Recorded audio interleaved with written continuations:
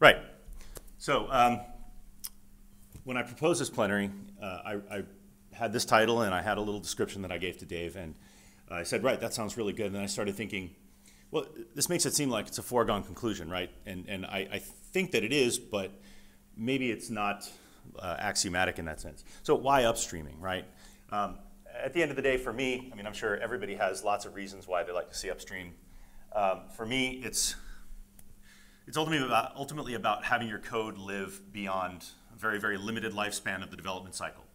Um, and you know, that's really the only viable option for that is, is to get things uh, into an upstream community where the real, you know, the primary benefits are that you get lots of good maintenance and lots of good validation by a much wider community than you could possibly uh, provide yourself personally.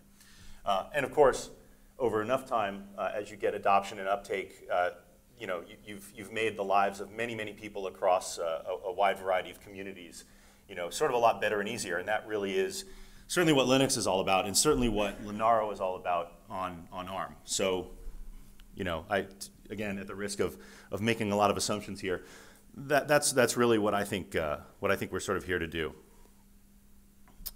Um, whoops.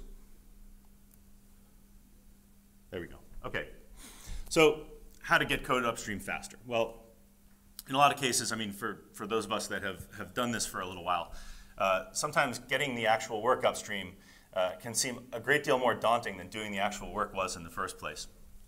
Uh, in, in the graphics working group, I, I think you know uh, we've had a pretty good we've had a pretty good record of this. It's not you know it's not up there at batting a thousand, but I think in general uh, in general it's been pretty good. Uh, and so, you know, I'm going to, over the next few slides, I think I'm going to go over some, some approaches and some, some lessons learned, especially that, uh, that we've uh, encountered in dealing with a variety of upstream communities, both within the kernel and well, uh, well up into user space projects. Uh, and so hopefully you guys will find that, find that enlightening as, as, to, as to, you know, how you might go about your, your own projects. Uh, of course, you know, as you see, the, the Linaro mantra is always upstream, upstream, upstream. That's, that's the only point of really doing anything uh, from the Linaro perspective. But as I say, there are a lot of different, uh, different projects that you'll interact with um, across a wide variety of, uh, of, of, communities. So how do, you, how do you deal with this? How do, how do you manage all these different, uh, different approaches to doing things? So in our case, um, I, I, know this sounds cheeky, and, and, and it's sort of meant to be a little bit, but at the end of the day, sometimes you have a project and it's, it's very, very clever, at least you think it is, and there's not really an upstream community that seems appropriate for it. Um, we've got, we've actually had a bunch of these things. Uh, the most, most recent and in most ways, I think the most successful version of all this is, uh, is the, the adoption of DMA-BUF for doing uh, buffer sharing between devices in the kernel.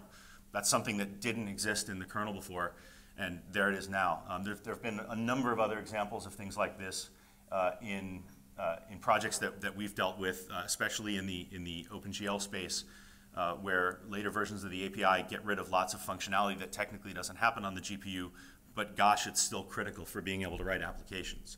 So uh, in a lot of cases, actually, this is a real viable option for us. And of course, you know, uh, some of this means that the, there is a further upstream that your code goes into, but you know, for us, in order to make sure that we have what we need in place, we, have actually had to, you know, just sort of own up to, to hosting some projects ourselves. But let's, let's talk about, I think, the upstream the way that most of us think about it. Um, so yes, of course, make sure the upstream actually wants what you're doing. Uh, there's an old expression, uh, never try to teach a pig to sing because it wastes time and annoys the pig.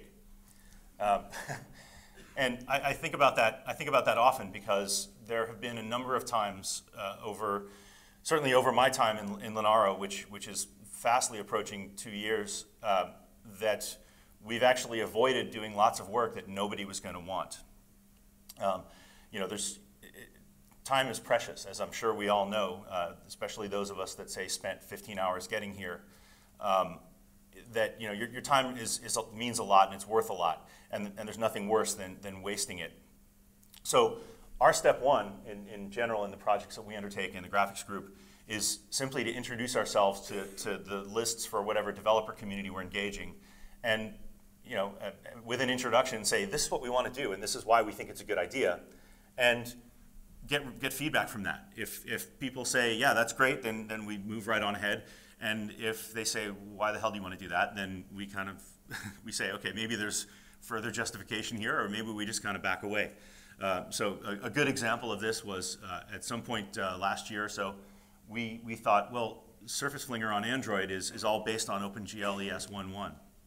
And gosh, wouldn't it be nice if it was all modern in OpenGL ES 2.0? And we proposed it to the Android community, and they said, why would you want to do that?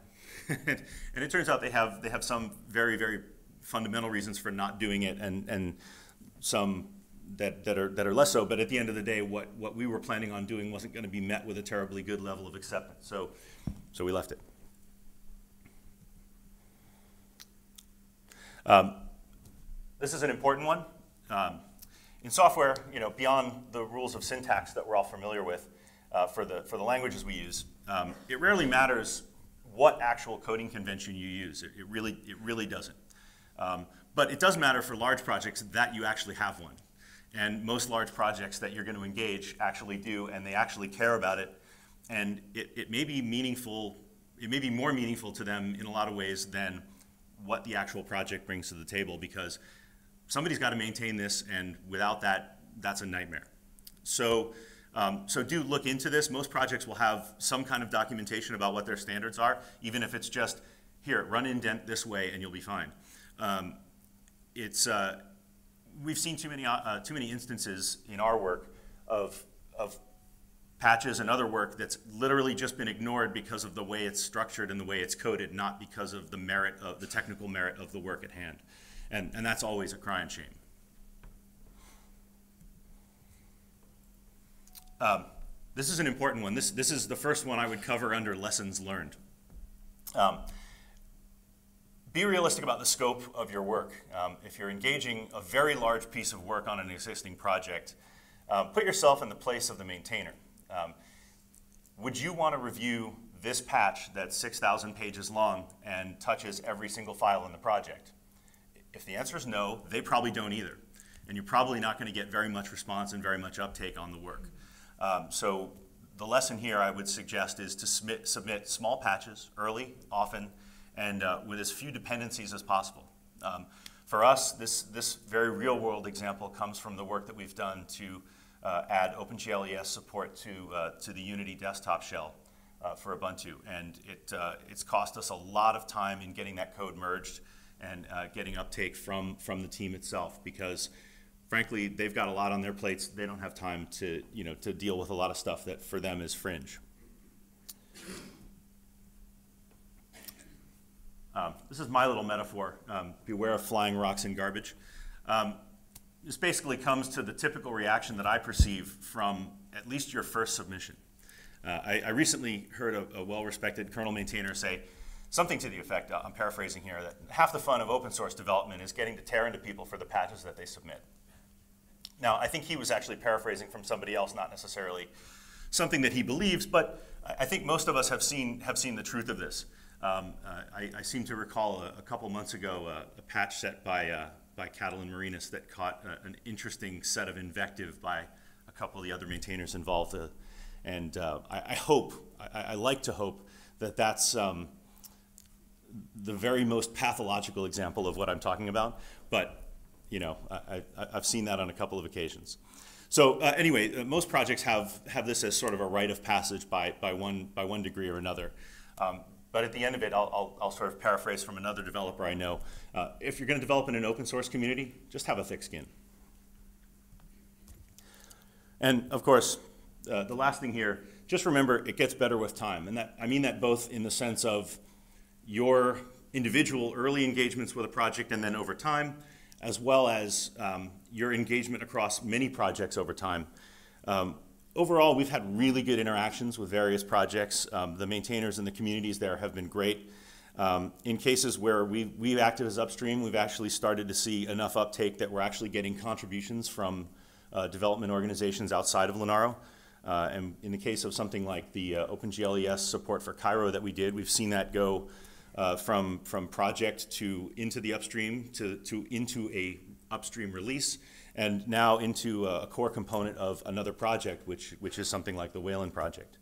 Um, and, and of course, uh, as I mentioned, the, you know, the, the, the hard work, the hard lessons learned on the, uh, on the Unity project, uh, seeing that go into uh, Ubuntu 12.04, and right now, as we speak, the merge efforts that are going on to get that code into the upstream proper um, are starting really to pay off and to, to really feel worthwhile. So I, I think, again, I think we're overall, we're a better team for it, and I think uh, the, the guys on the team are, are a lot more, uh, a, a lot, a lot richer engineers for it. So um, I think that's my lessons learned.